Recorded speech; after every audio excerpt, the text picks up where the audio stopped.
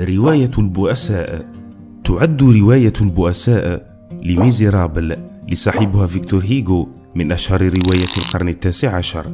يصف فيها كاتبها وينتقد الظلم الاجتماعي في فرنسا في فترة بين سنة 1815 تاريخ سقوط نابليون والثورة الفاشلة ضد الملك لويس فيليب في 1832 بدأ فيكتور هيغو كتابة روايته سنة 1845 وبعد ثلاث سنوات توقف مدة طويلة قبل أن يعاود كتابتها ويصدرها سنة 1862 تصف الرواية حياة عدد من شخصيات فرنسية على طول القرن التاسع عشر الذي يتضمن حروب نابليون مركزة على شخصية السجين السابق جان فالجان ومعاناته بعد خروجه من السجن.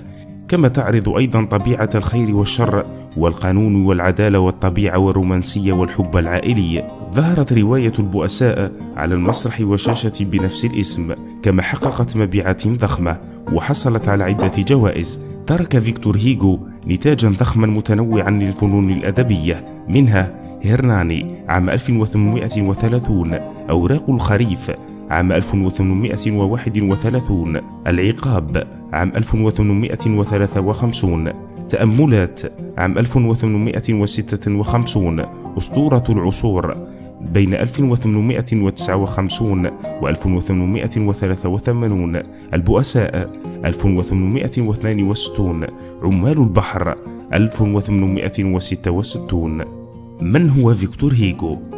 يحتل فيكتور هيغو مكانة مميزة في تاريخ الأدب الفرنسي فقد ألقى ظله على القرن التاسع عشر بكامله سواء بنتاجه الأدبي الضخم أو بمواقفه السياسية.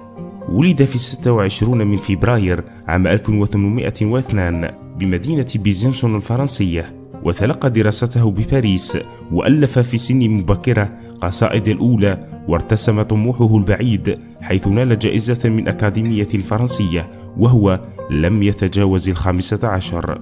في عام 1922 بدأ هيغو نشر مجموعاته الشعرية والقصصية التي ترخصت بنشر رواية نوتردام دو باري. في عام 1831 حيث أظهر فيها مهاراته التعبيرية وقوة خيالية وقدرة على إحياء التاريخ.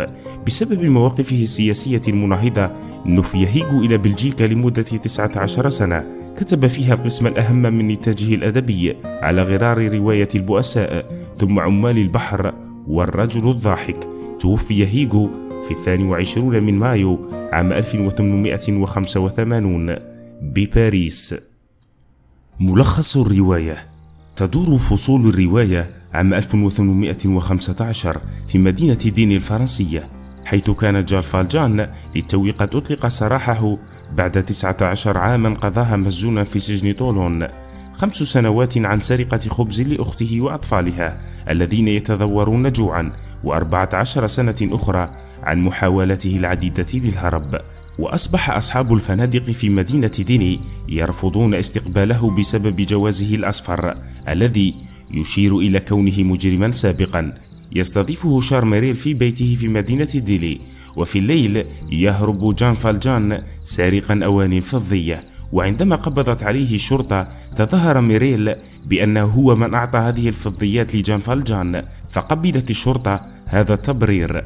بعدها أخبر ميريل جان فالجان بأن حياته قد وهبت لله وأن على جان أن يستخدم المال الذي تعادله فضيات ليجعل من نفسه رجلا صالحا. كان ميريل هو أول من أعاد لجان فالجان كرامته الإنسانية وقيمته الاجتماعية ودعاه السيد وأحسن إليه.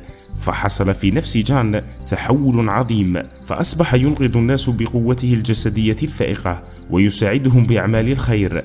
تمر سنوات ويصير جان فالجان مستخدما اسم مادلين مالكا ثريا لمصنع في مدينة مونتروي سور مير ويعينه الملك بعدها عمدة للمدينة. وبينما هو يسير في طرق المدينة شهد رجلا محصورا تحت عجلة العربة فألقى جان بنفسه تحتها فرفعها وانقذ الرجل. لاحظ المحقق جافير ضابط الشرطة المدينة الحادثة وهو الذي كان حارسا في سجن طولون وقت احتجاز جان فالجان وبدأ يشك بالعمدة. بعدما شاهد قوته في رفع العربة فهو يعرف رجلا واحدا بهذه القوة وهو المجرم جان فالجان. من جهة أخرى كانت هناك عاملة اسمها فانتين. غادرها زوجها تاركا لها ابنة اسمها كوزيت. فانتقلت إلى مدينة مونترفيرميل وتركت طفلتها كوزيت في رعاية عائلة تينارديه الجشعة وسيئة الطباع. لم تكن فانتين صاحبة الشعر الذهبي والأسنان اللؤلؤية. تعلم أن تينارديه كانوا يسيئون معاملة كوزيت ويستغلونها لتعمل لديهم في النزل وتستمر جاهدة في تلبية طلباتهم الابتزازية. وتتعرض بعد ذلك فانتين لطرد من مصنع جان فالجان بسبب اكتشاف قصة طفلتها الغير شرعية. وفي نفس الوقت تزداد طلبات عائلة تيناردي المالية وتضطر فانتين لبيع شعرها وأسنانها مع العمل في مهن أخرى لتدفع لتينارديه حتى أصابها مرض خطير.